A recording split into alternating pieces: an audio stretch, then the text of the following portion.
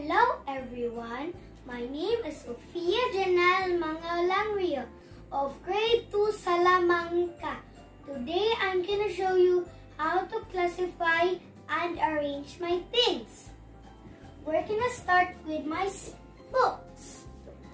I'm starting with my study books. I'm to put them here, but I'm to arrange them to make them very arranged. Next, I'm to do my coloring book. First, I have to do my papers because I like drawing. I love drawing. Can I get my paper? I'm gonna put it over here. I'm gonna put my cat drawing over there. Now it's time for my coloring books. I'm gonna start with this. Then my Disney. I'm gonna put it where my paper is. Next is my jigsaw puzzle.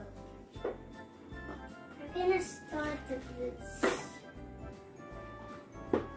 Um, maybe I'll see more puzzles. I'll open this back and put it here. Make it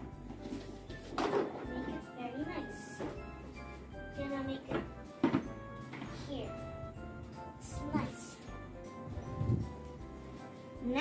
I'll do my stuffed toys.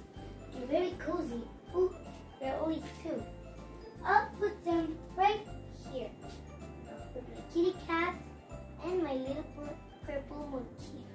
I think I'll do my colors. My color pens. I love it.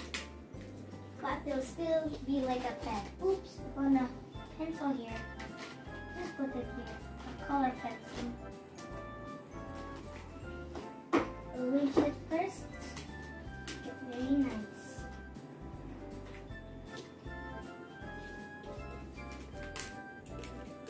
Still more here. There's a lot of them. Go to 100. Mm, there's still more than 100. Now I'm gonna start with my blocks. Like actually that. I thought I found a ruler.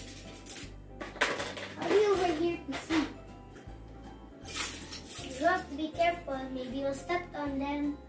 You're very hurt. It'll make you hurt. when you Step on them. I'm almost done. I fell.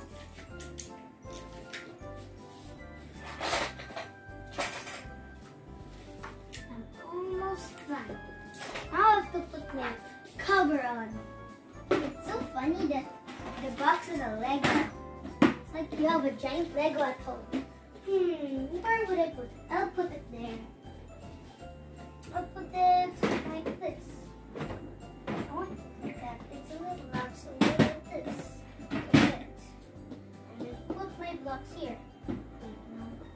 Make puzzles. They accidentally shape blocks.